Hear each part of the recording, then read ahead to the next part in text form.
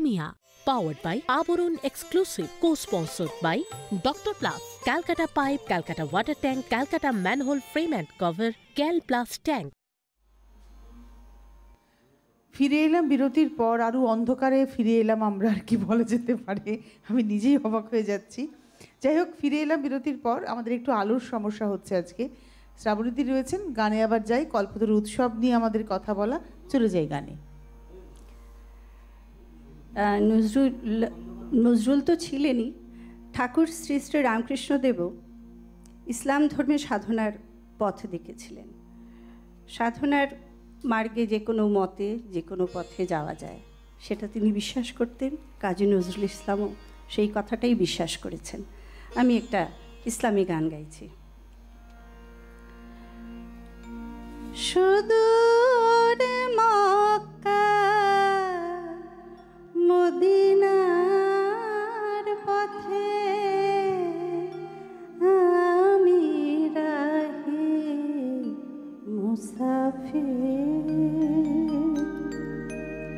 সুদূর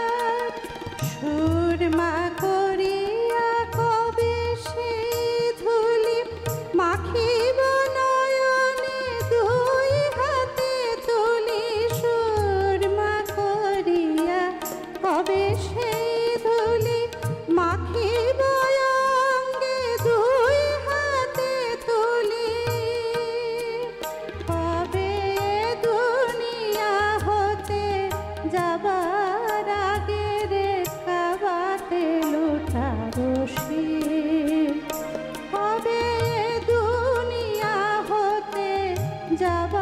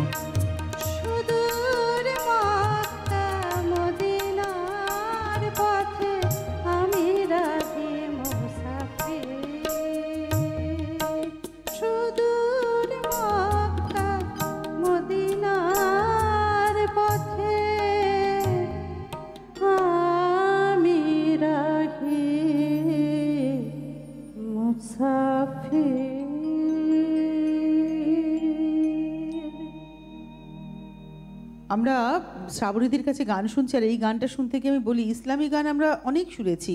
কিন্তু এই যে শ্রাবণীদের ছাত্রীরা আসেন, মঞ্জুষা, দেবারতী, এরা যখন অশ্রুত গান শোনান, তার মানে এই মানুষটির কাছ থেকেই তারা সঠিক সঠিক গানটি আমাদের সামনে তুলে ধরেন, তাই তো? আমরা এইটুকু বলতেই পারি, তাই না? একদম। ওনার ছাত্রী মঞ্জুষা আমাদের উল্টো দিকে বসেও রয়েছে। মঞ্জুষা আপনাদের খুব পরিচিত শিল্পী। তো যেটা আমি এবার যাব একটা টেলিফোন নেব, তারপরে কল্পতরু উৎসবের কথাতে আসব, দিদির কাছে আসব। এই যে কাজী নজরুল ইসলামের গান, যেটা নজরুল সঙ্গীতকে সঠিকভাবে, দিদি একটা কথা বলেন না যে, সঠিকভাবে তুলিয়ে দিই, এই সঠিকভাবে, সঠিক শব্দটাকেই বা কেন আমরা ব্যবহার করছি, বিশেষ করে এপার বাংলার মানুষেরা। নমস্কার, সুপ্রভাত, কে রয়েছেন? নমস্কার, সুপ্রভাত। আমি গুজরাট বরোদা থেকে শ্যামশ্রী বন্দ্যোপাধ্যায় বলছি। হ্যাঁ হ্যাপি নিউ ইয়ার বলুন। হ্যাপি নিউ ইয়ার প্রথমেই ঠাকুর রামকৃষ্ণ দেবের কল্পতরু উৎসবকে স্মরণ করে আপনাকে বলছি খুব সুন্দর অনুষ্ঠান হচ্ছে আপনারা সকলে আমাদের বরোদার থেকে হ্যাপি নিউ ইয়ার নেবেন এবং ভালো থাকবেন। এই বছরটা যেন সকলের পক্ষে খুব ভালো হয়। আমি শ্রাবন্তীদির কাছে যাই। একদম একদম। হ্যাঁ নমস্কার বলুন। হ্যালো। হ্যাঁ বলুন শুনতে পাচ্ছি। হ্যাঁ দিদি হ্যাপি নিউ ইয়ার জানাই। খুব আপনাকেও সুন্দর অনুষ্ঠান হচ্ছে। থ্যাংক ইউ আর আপনি নজরুল সংগীত আহ, তুমি আমার সকালবেলার সুরটা যদি সকালবেলা শোনান আজকের এই দিনে খুবই ভালো লাগবে। আচ্ছা। ভালো থাকবেন। আজ আপনিও সঙ্গে থাকবেন। শ্যামাশ্রী, ভালো থাকুন, সুস্থ থাকুন, সুরক্ষিত থাকুন, আমরা সেটাই চাই। যথারীতি গতকাল আমরা আবারও সেই উত্তামতায় গা ভাসালাম এবং সংক্রমণের হার আজকে দেখবেন পরিসংখ্যান আসবে, সংক্রমণের হার হয়তো আরও অনেক শতাংশ বেড়ে গেছে। তো এটা কাম্য নয়। আমরা চাই সুস্থ, সুন্দর পৃথিবী। দু হাজার বাইশে ঠাকুর তো কল্পতরু উৎসবের দিন তার শিষ্যদের বলেছিলেন, তোমাদের চৈতন্য হোক আমরাও চাই আমাদের সমস্ত মানুষের সঠিক চৈতন্য হোক, অন্তত কোভিডকে কেন্দ্র করে। তো আমরা একটু গানে যাই পরের গানে? আমি একটি কীর্তন শোনাই। খুবই সুন্দর, আপনারা শুনুন। মনি মঞ্জির বাজে। মনি মঞ্জির বাজে। অরুণিত চরণে সখী মনি মঞ্জির বাজে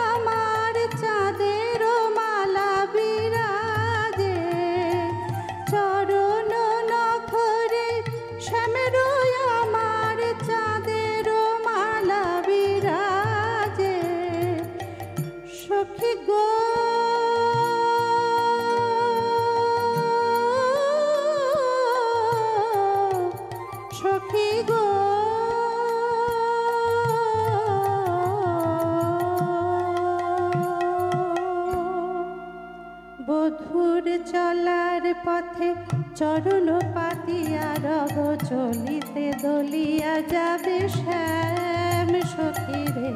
চলিতে দলিয়া যাবে শ্যাম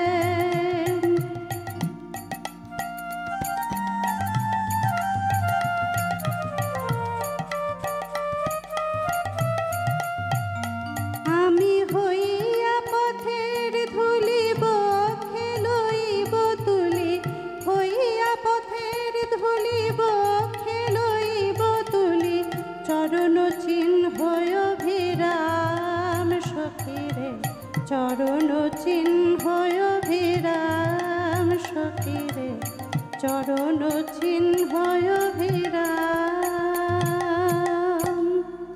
ভুলে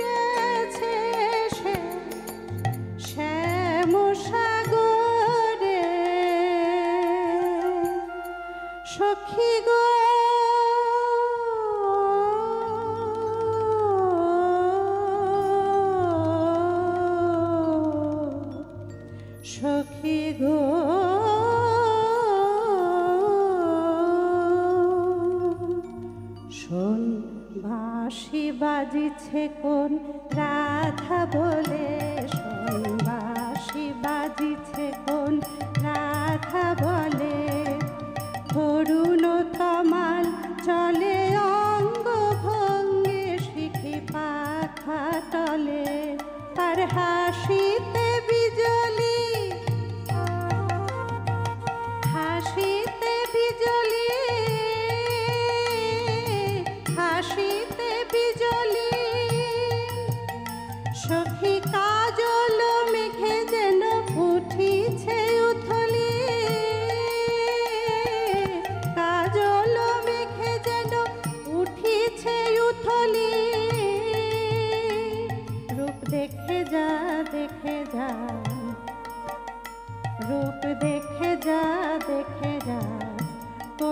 চাঁদের জোছনায় চন্দন মেখে যা মোর শ্যামলে দেখে যা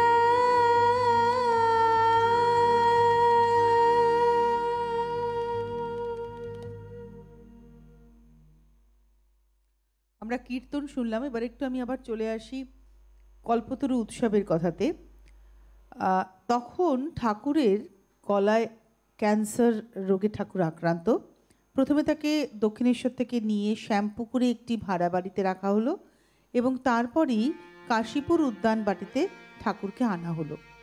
ঠাকুর কাশীপুর উদ্যান বাটির দোতলার একটি ঘরে থাকতেন। ভক্তরা আসতেন, সন্ন্যাসী ভক্তরা তার সেবা করতেন, গৃহী ভক্তরাও আসতেন। কিন্তু ঠাকুর অসুস্থ থাকাতে তারা নিজ থেকে কথা বলে খবর নিয়ে চলে যেতেন। গিরিশচন্দ্র ঘোষ রোজ আসতেন। তো দিনটা ছিল আঠারোশো ছিয়াশি সালের পয়লা জানুয়ারি। ঠাকুর অসুস্থ, তার গৃহী ভক্তরা এসেছেন। সন্ন্যাসী ভক্ত যারা, তারা সারা রাত ঠাকুরকে দেখাশুনো করে কেউ হয়তো ঘুমাচ্ছেন, কেউ বিশ্রাম নিচ্ছেন, কেউ হয়তো অন্যান্য কাজ করছেন। গৃহী ভক্তরা সবাই এসছেন ঠাকুরের খোঁজ নেওয়ার জন্য। ছুটির দিন ইংরেজি নববর্ষ, তাই তারা ওই কাশীপুর উদ্যানবাটির বাগানে ঘোরাফেরা করছেন। হঠাৎ তারা দেখলেন সিঁড়ি দিয়ে ঠাকুর নেমে আসছেন। সবাই অবাক হয়ে গেলেন, যে মানুষটা অসুস্থ, তাকে ধরে ধরে সব কিছু করানো হয়, তিনি একা একা সিঁড়ি দিয়ে নেমে আসছেন। তার পরনে সবুজ বনাত, মাথায় সবুজ টুপি, পায়ে জল, জংলা কাজের একটা মোজা। তিনি সোজা হেঁটে এসে বাগানের মধ্যে দিয়ে হাঁটতে শুরু করলেন। ঠাকুরকে দেখতে পেয়ে তার ভক্তরা সকলেই তো আবেগে আকুল হয়ে উঠলেন। গিরিশচন্দ্র ঘোষ ঠাকুরের পায়ে হাত দিয়ে প্রণাম করাতেই ঠাকুর তার মাথা স্পর্শ করে বললেন, তুমি যেন আমার নামে কী সব বলে বেড়াও? অর্থাৎ তার আগে বলে রাখি, গিরিশচন্দ্র ঘোষ ঠাকুরের কথা বলতেন যে, তিনি রাম এবং কৃষ্ণ একই দেহে জন্মগ্রহণ করেছেন, তিনি অবতার। তখন গিরিশচন্দ্র ঘোষ কি বলেছিলেন? ঠাকুরের সাথে গিরিশচন্দ্র ঘোষের কথোপকথন আমি একটু বলে শোনাবো আপনাদের, কিন্তু গানের হাত ধরে পরের গানে যাই দিদি।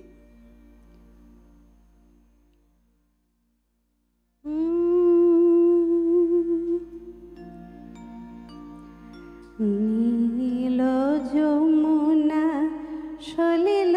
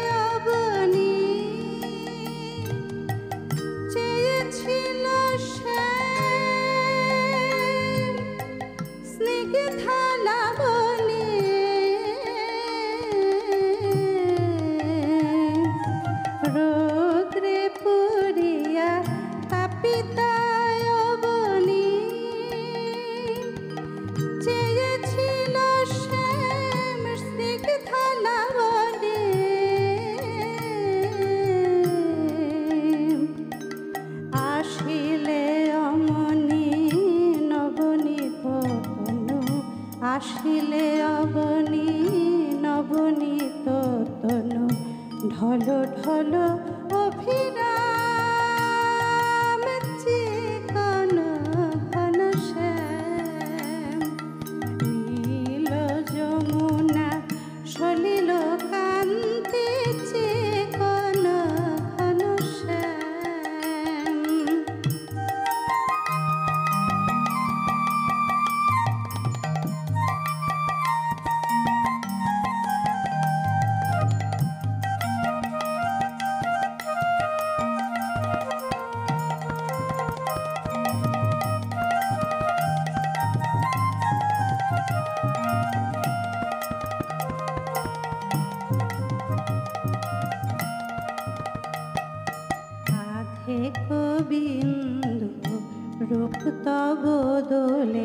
ধরায় সিন্ধু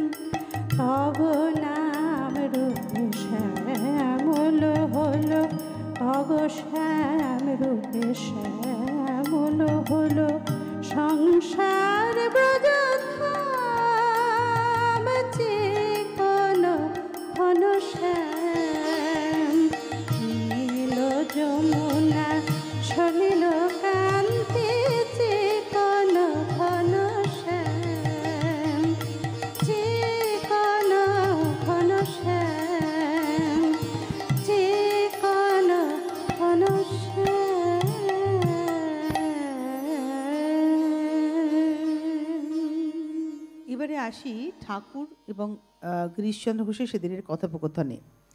ঠাকুর গিরিশচন্দ্রকে সামনে দেখে প্রশ্ন করলেন আচ্ছা গিরিশ, তুমি যে আমার নামে কী সব বলে বেড়াও? তুমি আমার কি দেখেছ? কি বুঝেছ? গিরিশচন্দ্র ততক্ষণে শ্রীরামকৃষ্ণর পদতল স্পর্শ করে মাথা নিচু করে ফেলেছেন। ঠাকুরের প্রশ্ন শুনে ধীরে ধীরে উত্তর দিলেন, ব্যাস বাল্মীকি যা আয়ত্ত করতে পারেনি, আমি তার কি বুঝব আর বলব? গিরিশের উত্তর শুনে শ্রীরামকৃষ্ণ বললেন, কি আর বলব? আশীর্বাদ করি তোমাদের চৈতন্য হোক। এই যে অনাড়ম্বর জীবনযাপন এবং সহজ সরল ভাষায় উপদেশ দেওয়ার কারণে শ্রীরামকৃষ্ণ তার জীবদ্দশাতেই এক কিংবদন্তি হয়ে উঠেছিলেন। দক্ষিণেশ্বরে থাকার সময় থেকেই সাধারণ ভক্তদের পাশাপাশি বিশিষ্টজনেরাও এসে ভিড় জমাতেন তার ঘরে। কিন্তু বেশ কিছুকাল অসুস্থ থাকার জন্য ভক্তরা তার কাছাকাছি আসতে পারছিলেন না। পাদস্পর্শ করে প্রণামও করতে পারতেন না। তাই সেদিন ঠাকুরকে সামনে পেয়ে সকলেই তার পাদস্পর্শ করার জন্য ব্যাকুল হয়ে উঠলেন আর শ্রীরামকৃষ্ণও অকাতরে ভক্তদের মনোবাসনা পূর্ণ করতে লাগলেন। ভক্ত রামচন্দ্র দত্ত শ্রীরামকৃষ্ণের এই অকাতর দান দেখে পুরাণের কল্পতরু বৃক্ষের সঙ্গে তুলনা করেছিলেন। হারানচন্দ্র দাস নামে এক ভক্ত ঠাকুরকে প্রণাম করার সঙ্গে সঙ্গে তার পা, ঠাকুরের পা হারানের মাথার উপরে ঠাকুর স্থাপন করলেন। আর এক ভক্ত, অর্থাৎ শ্রীরামকৃষ্ণের ভাইপো রামলাল দাদাও সেখানে উপস্থিত ছিলেন। এই ঘটনা স্মৃতিচারণ করে তিনি পরে লিখেছিলেন, ইতিপূর্বে ধ্যান করতে বসিয়া তাহার শ্রীঅঙ্গের কতকটা মাত্র মানুষ নয়নে দেখিতে পাইতাম। যখন পাদপদ্ম দেখিতেছি, তখন মুখখানি দেখিতে পাইতাম না। আবার মুখ হইতে কটিদেশ পর্যন্তই হয়তো দেখিতে পাইতাম শ্রীচরণ দেখিতে পাইতাম না। ওইরূপে যাহা দেখিতাম, তা সজীব বলিয়াও মনে হইত না। অদ্য ঠাকুরকে স্পর্শ করিবা মাত্র সর্বাঙ্গ সম্পূর্ণ ইষ্টমূর্তি, মূর্তি হৃদয় পদ্মে যাহা আবির্ভূত হইয়া এককালে নড়িয়া চড়িয়া ঝলমল করিয়া উঠিল।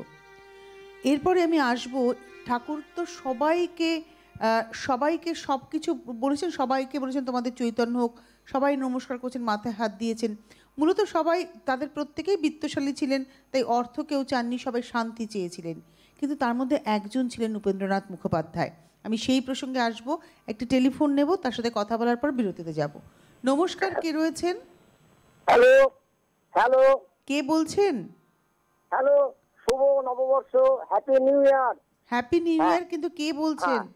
হ্যাঁ নমস্কার। আমি কৃপাময় মুখার্জি বলছি ঝাড়খণ্ড হাজিরবাগ থেকে।